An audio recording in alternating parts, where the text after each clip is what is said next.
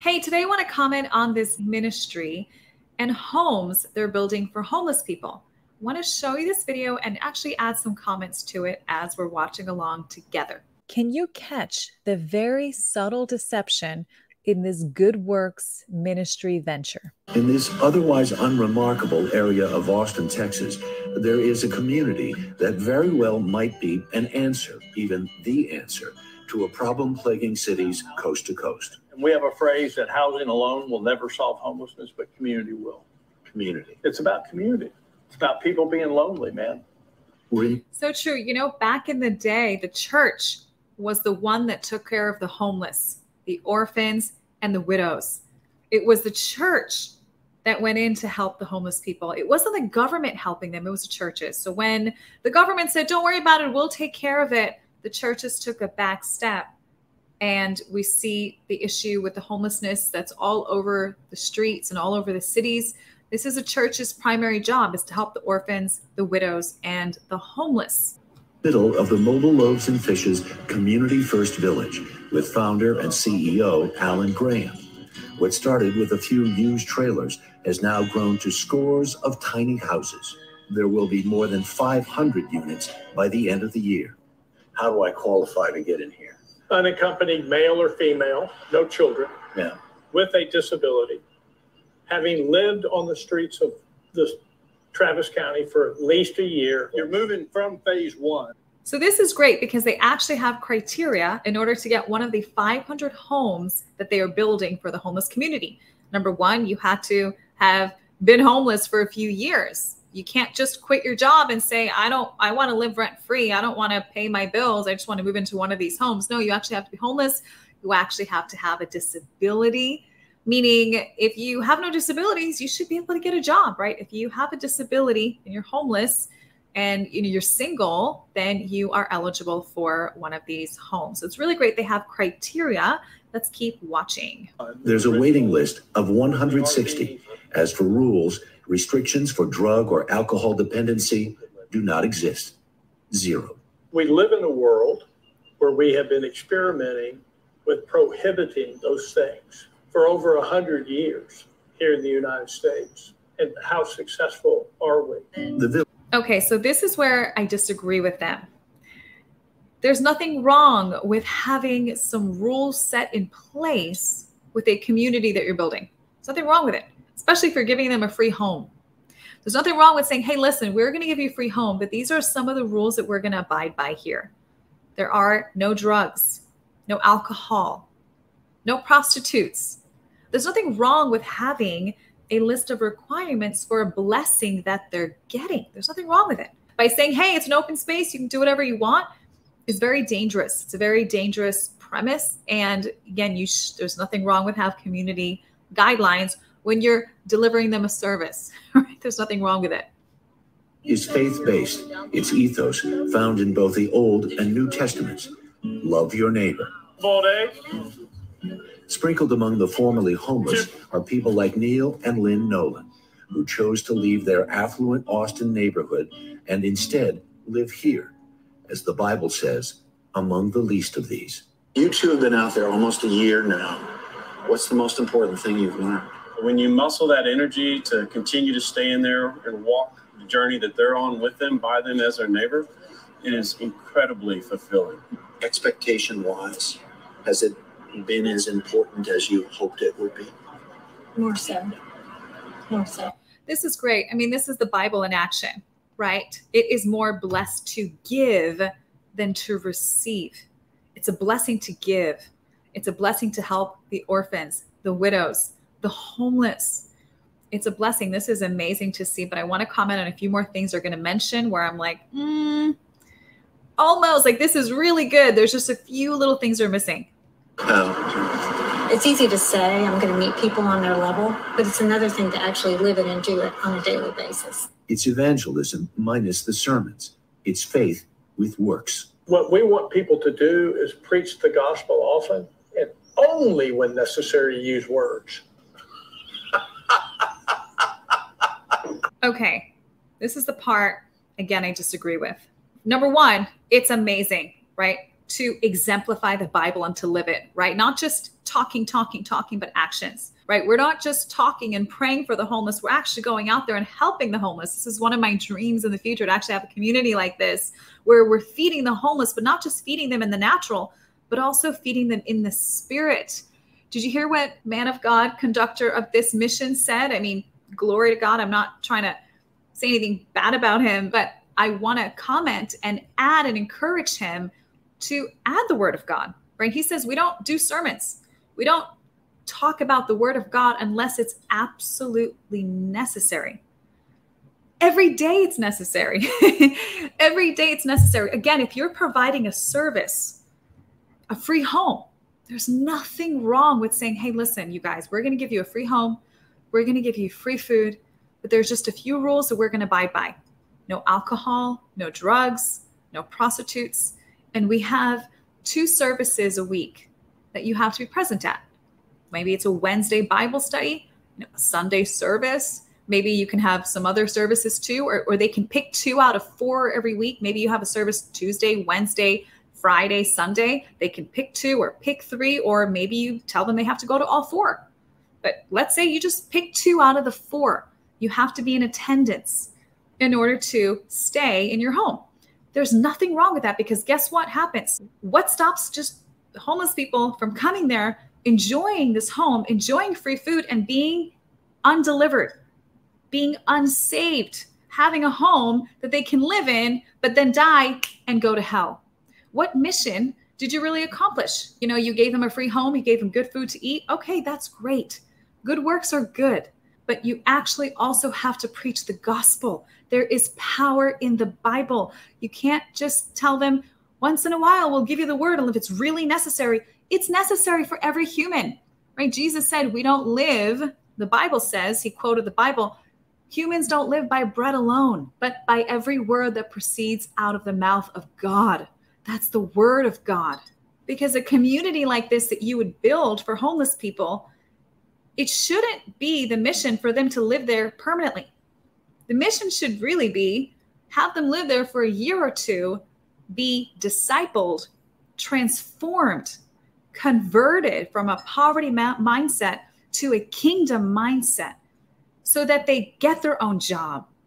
Then they leave and contribute into a community, not be beggars, but be kingdom mindseted Christians that are functioning in the community and have that home open for the next person to come in and be discipled. Because it seems here that they don't mind if these people live there forever, undelivered, hearing no word of God, but being fed. Again, good works are good, but they also need deliverance. They need to hear the word of God. They are never going to transition from being homeless to being successful, mind, body, and spirit prosper as their soul prospers without the word of God. You have to read the word. And even the person interviewing this man of God is laughing. He's laughing. Even the interviewer is laughing at this comment that, oh, we don't preach the word unless it's absolutely necessary. It is always necessary to preach the word every single day. So, again, there's nothing wrong with having sermons that they attend so they hear the word of God, that their mind is transformed, and then they can change their life. no proselytizing allowed. That's why most of our neighbors love Christ but can't stand Christians. In the village, there's an. Okay, so no proselytizing, no telling anyone about Jesus. Oh boy. Is this a godly mission trip or is this just works? This to me just seems like works. And that's, it's not the 100% fullness of really what God has. Because guess what? When the disciples in the book of Acts, they didn't just have a community where they all ate together, they preached the word of God. they sang together, they prayed together, they fasted together. They were a community that were extremely persecuted in Jerusalem and in, uh, in neighboring areas as well but their foundation was the word of God. They were delivered.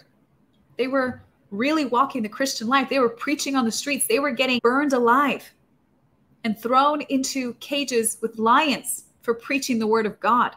Let me tell you about Jesus. how much He loves you, how much He wants to set you free and help you. We'll help you. But it's also important to know the Word of God because you don't want to fall into a place where you're enabling the poverty mentality. You're right. You don't want to enable being lazy. You don't want to enable giving handouts to everyone.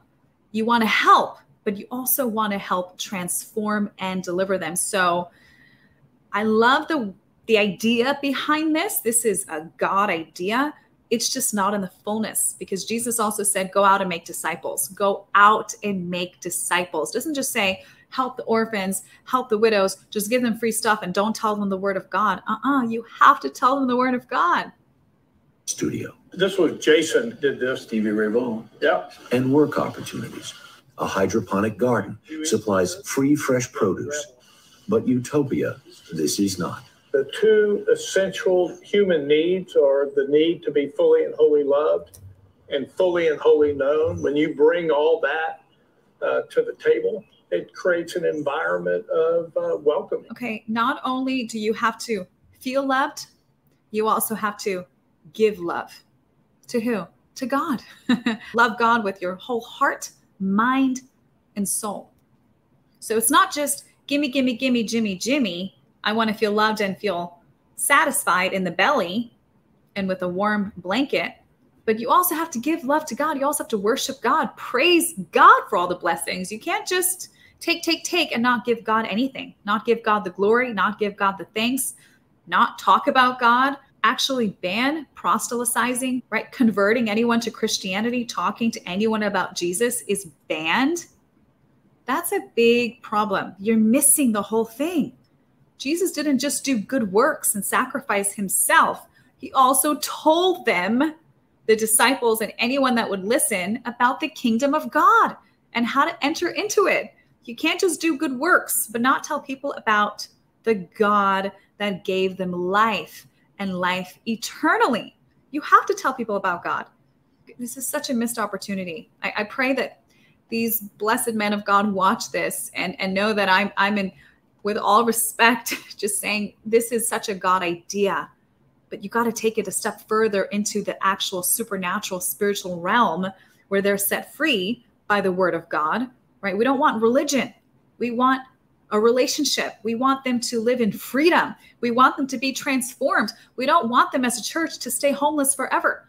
The whole objective, from what I thought I was going to see in this video, was we're going to disciple them. We're going to give them a home. We're going to teach them the word. They're going to be delivered and they're going to be set free and they're going to move out within two years and have their own place that they can afford. They'll have their own job. They'll have their own business.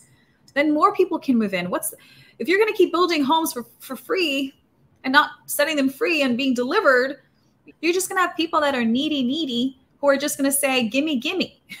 You're just going to want stuff for free. And you're enabling that poverty mentality if you do not help them by leading them to Jesus because the truth will set them free. Amen. So Jesus will set them free from that poverty mentality, but you have to preach Jesus. You got to preach the gospel. Salad of kingship. Mm. It's life. It's real life with all the beauty and the marinade of the dysfunction all put into that one little tasty gumbo. This fearless approach to folks living on the street is working.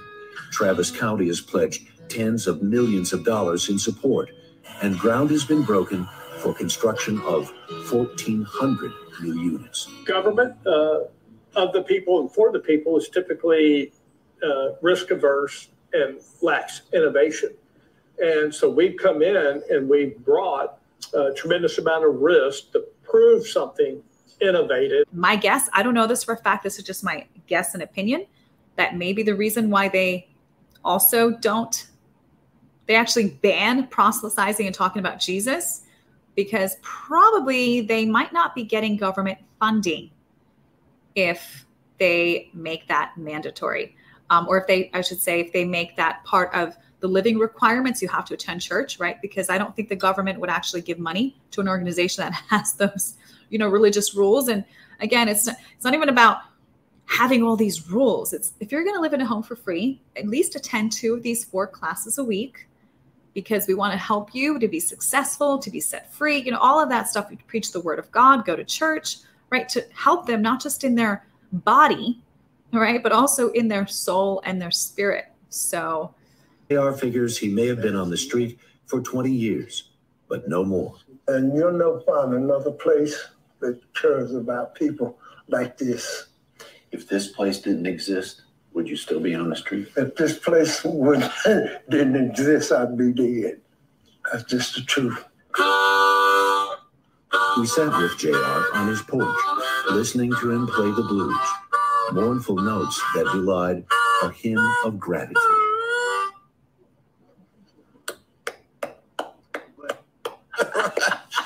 you're playing the blues instead of playing some worship music to God. Thank you, Lord, for this beautiful place. Thank you for this blessing.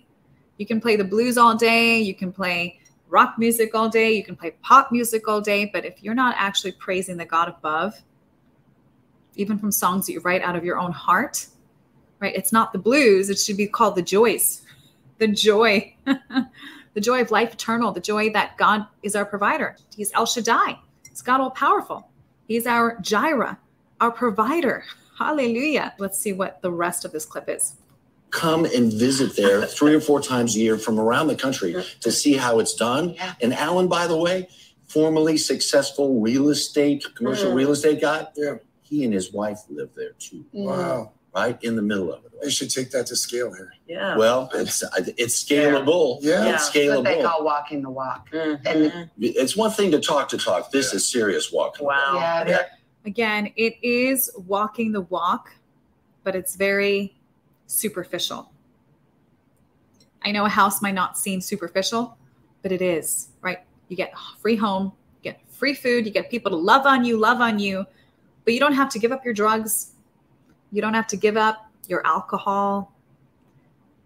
You don't have to hear about God. In fact, it's banned to even talk about Jesus, right? It's banned to convert anyone to Jesus. Oh boy, this is just works. I would love to hear what your thoughts are. Please leave it in the comment section down below.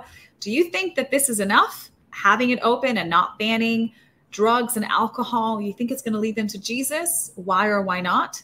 And then if you are on the other side where you think that they should preach the word of God, they should have some rules set in place. They should have at least a mandatory class of discipleship per week. Please comment down below as well. I'd love to hear your perspective on it and have a wonderful, blessed day in Jesus' name. Love you guys.